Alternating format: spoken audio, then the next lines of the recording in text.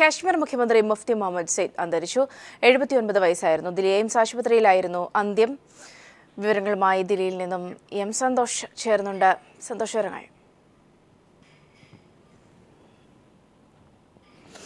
Soumya December ഇരുപത്തിനാലാം തീയതിയാണ് ജമ്മുകാശ്മീർ ജമ്മു കാശ്മീർ മുഖ്യമന്ത്രി മുഫ്തി മുഹമ്മദ് സൈദിനെ ശ്വാസതടസ്സവും പനിയും ബാധിച്ചതിനെ തുടർന്ന് ദില്ലിയിലെ എയിംസ് ആശുപത്രിയിൽ പ്രവേശിപ്പിച്ചത്. അതിനുശേഷം അദ്ദേഹം പതിനഞ്ച് ദിവസത്തോളം തീവ്ര പരിചരണ വിഭാഗത്തിലായിരുന്നു. ഇന്നലെ രോഗം മൂർച്ഛിച്ചതിനെ തുടർന്ന് വെന്റിലേറ്ററിലേക്ക് മാറുക മാറ്റുകയായിരുന്നു. ഇന്ന് പുലർച്ചെ ഏഴ് മുക്കാലോടുകൂടിയാണ് മരണം സംഭവിച്ചത്. ജമ്മുകാശ്മീരിന്റെ ജമ്മു കാശ്മീരിന്റെ മുഖ്യമന്ത്രിയായി മാർച്ച് ഒന്നാം തീയതി കഴിഞ്ഞ വർഷം മാർച്ച് ഒന്നാം തീയതിയാണ് മുഫ്തി മുഹമ്മദ് സയ്യിദ് അധികാരത്തിലേറ്റത് പ്രത്യേകിച്ചും ഇന്ത്യൻ രാഷ്ട്രീയത്തിലെ വളരെ നിർണായകമായ ഒരു തീരുമാനം എന്ന് തന്നെ വിശേഷിപ്പിക്കപ്പെട്ട ഒരു തീരുമാനമായിരുന്നു അത്.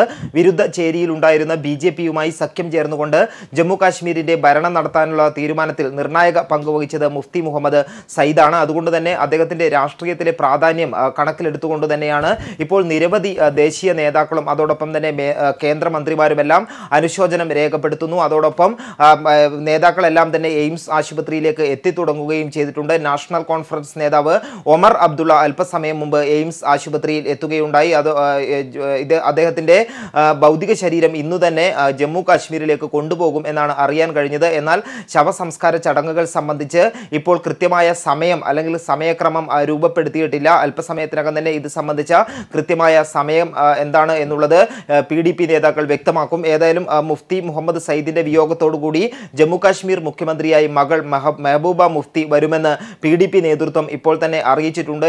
നേരത്തെ തന്നെ നിരവധി സ്ഥാനങ്ങൾ അലങ്കരിച്ചിട്ടുണ്ട് മുഫ്തി മുഹമ്മദ് സയ്യിദ് പ്രത്യേകിച്ചും രാജ്യത്തെ ആദ്യത്തെ മുസ്ലിം ആഭ്യന്തരമന്ത്രി എന്നുള്ള വിശേഷണം മുഫ്തി മുഹമ്മദ് സയ്യിദിനാണ് വി. പി. സിംഗ് മന്ത്രിസഭയിലാണ് മുഫ്തി മുഹമ്മദ് സയ്യിദ് ആഭ്യന്തര മന്ത്രിയായിരുന്നത്. ആദ്യ ആദ്യ കാലഘട്ടത്തിൽ രാഷ്ട്രീയ പ്രവർത്തനം തുടങ്ങുന്ന സമയത്ത് കോൺഗ്രസ് പാർട്ടിയിലായിരുന്നു മുഫ്തി മുഹമ്മദ് സയ്യിദ് പിന്നീടാണ് കോൺഗ്രസ് പാർട്ടി വിട്ട് പി ഡി പി എന്ന പാർട്ടി രൂപീകരിച്ചത്. അതോടൊപ്പം തന്നെ രണ്ടായിരത്തി രണ്ടിൽ മുഫ്തി മുഹമ്മദ് സയ്യിദ് ഇതിനു മുൻപ് ജമ്മു കാശ്മീർ മുഖ്യമന്ത്രിയായിരുന്നു. ഇത് രണ്ടാം തവണയാണ് ജമ്മു കാശ്മീർ മുഖ്യമന്ത്രിയാകുന്നത്.